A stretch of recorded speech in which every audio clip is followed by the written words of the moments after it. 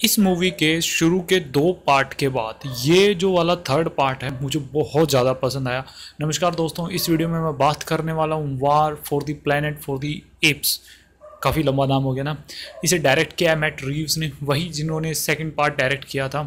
इस मूवी के जो फ़र्स्ट पार्ट में एक जो साम्राज्य की उत्पत्ति होती है वानरों की, और फिर जो सेकंड पार्ट के अंदर, इंसान और वानर के बीच में जो लड़ाई स्टार्ट हो जाती है थर्ड पार्ट में उसी को कंटिन्यू रखा गया है।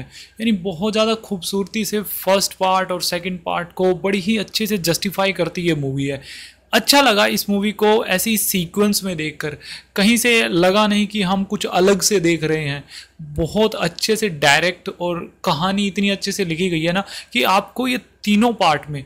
मुझे खैर सेकंड पार्ट की मैं, मैंने जो रिव्यू किया था सेकंड पार्ट का तो मैंने उसमें कहा था कि थोड़ा बहुत हम कनेक्ट नहीं हो पाते, लेकिन थर्ड पार्ट उसकी भी कमी को पूरा कर देती है। यानी ये फ़र्स्ट पार्ट जितना आपको पसंद आता है, उससे कहीं ज़्यादा आपको ये थर्ड पार्ट पसंद आने वाला है। इस थर्ड पार्ट में आपको सब कुछ देखने को मिलेगा जैसे कि इमोशनल एंगल भी इसमें देखने को मिलेगा सेक्रीफाइस लड़ाई, और भी बहुत कुछ। और इन सब चीज़ों को बड़े ही खूबसूरती से बुना गया है। तो अब थर्ड पार्ट में फौज आ चुकी है तो जो वो है सीज़र को ढूंढ रहे हैं और सीज़र को वो मारना चाहते हैं, क्योंकि एक लीडर को अगर आप मार देते हो तो बाकी जो झुंड है वो अपने आप ही ख़त्म हो जाता है। तो ऐसा होता है तो वो इसलिए सीज़र को मारना चाहते हैं, वो उन्होंने ऑपरेशन चलाया हुआ होता है। और सीज़र को मारने के लिए अब इस बार इंसानों का साथ दे रहे हैं कुछ वानर जो सेकंड मूवी में जो कुबा जो मारा था सीज़र और कुबा के बीच में जो लड़ाई हुई थी तो कुबा को कुछ लोग मानते थे, अपना लीडर मानते थे तो अब कुछ लोग नहीं, कुछ वानर जो थे, वो कुबा को अपना लीडर मानते थे। तो वो वापस तो सीज़र के पास जाना नहीं चाहते थे, इसलिए वो इंसानों के साथ मिल गए और तो उनकी हेल्प करके वो सीज़र को मारना चाहते थे ताकि सीज़र ख़त्म हो जाए, इंसान सब वानरों को ख़त्म करते, उन्हीं को छोड़ते। तो कुछ एक ऐसी गलत फहमी वो वो रह कर सीज़र को मरवाने पर तुले हुए थे।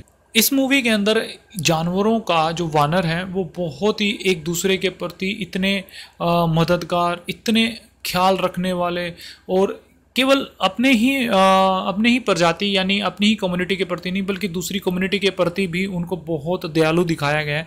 और वहीं अगर इंसान की बात करें इंसान को तो अपनी ही कम्युनिटी का इसमें दुश्मन और वानरों के प्रति तो उन्होंने ऑब्वियसली फ़र्स्ट पार्ट से वो चलता आ रहा है तो उसी को वो कंटिन्यू रखा है। उन्होंने दुश्मनी को और ज़्यादा बढ़ाया है इसमें। इस मूवी में सबसे खूबसूरत बात मुझे एक जो लगी, मैं वो आप लोगों के साथ डिस्कस करना चाहूँगा। तो इस मूवी में जो जो सिपाही है, उनका एक कर्नल है। तो वो कर्नल जब मर रहा होता है तो वो एक बात बोलता है कि इंसानों ने इस प्रकृति के नियमों के साथ छेड़छाड़ की।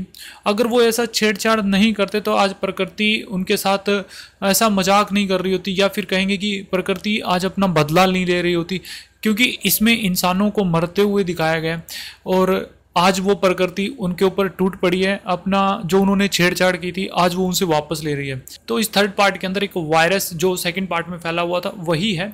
लेकिन इसका जो है, वो अब संरचना यानी ढांचा अब बदल चुका है। इसका रूप बदल चुका है कि पहले ये इंसानों को मार रहा था, लेकिन अब ये इंसानों को मार नहीं रहा। अब इसमें इंसानों में कुछ चेंजेस हो रहे हैं। जैसे किसी की आवाज़ चली, किसी की क्या, हर किसी की आवाज़ चली जाती है और उनके अंदर कुछ और बदलाव आ जाते थे, वो खूंखार होने लग गए थे। और सबसे बड़ी चीज़ थी कि अब ये वायरस जो है, वो किसी को टच करने से ही, पास जाने से ही, उसकी किसी चीज़ को हाथ लगाने से ही फैल रहा था।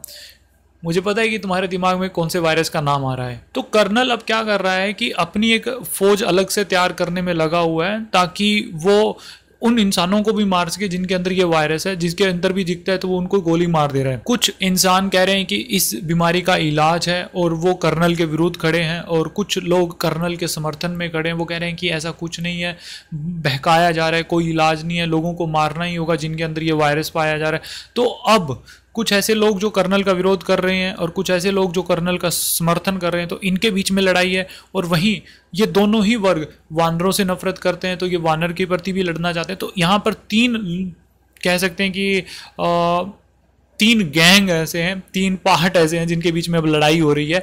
तो अब लड़ाई को बहुत बड़ा कर दिया गया है। तो कर्नल एक मिशन ऑन कर रखा होता है जिसमें सीजर को मारना होता है। एटलीस्ट उनको सीजर के ठिकाने का पता चलता है। तो कर्नल अपने सिपाहियों के साथ वहाँ पर जाता है और और सीजर के बच्चे और उसकी पत्नी को मार देता है एज ए सीजर समझ के। उसने सोचा वो सीजर है, लेकिन वो सीजर नहीं होता सीजर बच जाता है और सीजर अब गुस्से में आकर इस कर्नल के पीछे चल देता है उसको मारने के लिए। और अपने झुंड को कहता है कि तुम ये जगह छोड़कर किसी और जगह चले जाओ, क्योंकि अब इंसान इसको तबाह करने वाले हैं। और कुछ एक वानर सीजर के साथ जाते हैं उसकी हेल्प करने के लिए, और बाकी जितने वानर बच जाते हैं, वो अपने लिए एक अलग जगह ढूँढने के लिए चले जाते हैं। अब जब वो सीज़र कर्नल के पीछे जाता है तो उनको पता चलता है कि कर्नल यहाँ से जा चुका है, कहीं और किसी एक किले नुमा जगह पे गया है, जब वहाँ जहाँ पर कुछ कंस्ट्रक्शन काम चल रहा है। और वहाँ पर अब लड़ाई होने वाली है जो इंसान कर्नल के खिलाफ है, वो वहाँ पर आने वाले हैं, वहाँ पर लड़ाई होने वाली है। तो सीज़र अब कर्नल को ढूंढते ढूंढते उसके ठिकाने पर पहुँचता है और वहाँ जाके वो ये देखता है कि जो झुंड वो छोड़ के गया था वो सारा का सारा इन्होंने कर्नल और कर्नल के सिपाहियों ने पकड़ लिया है।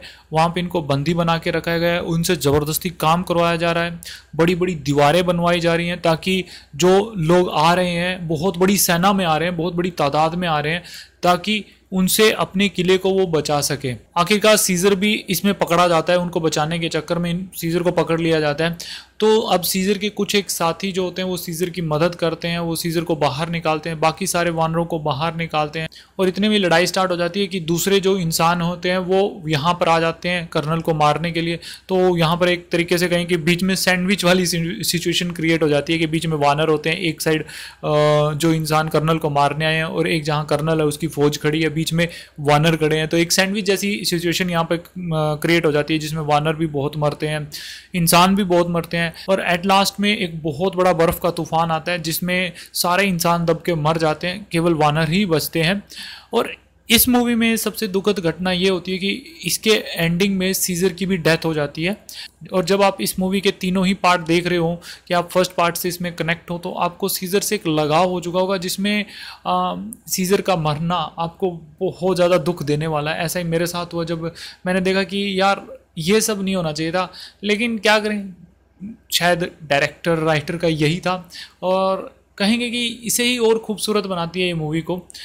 मेरी तरफ़ से इस मूवी को मैं देना चाहूँगा 8.5 आउट ऑफ़ 10 स्टार मुझे मूवी बहुत पसंद आई। बेशक आप लोगों को भी ये मूवी पसंद आई होगी। जिन्होंने देखी होगी प्लीज़ कमेंट करके मुझे बताना कि आप लोगों को ये कैसी लगी। खैर, बस आज के लिए इतना ही था इस वीडियो में। मिलते हैं नेक्स्ट वीडियो में। जय हिंद।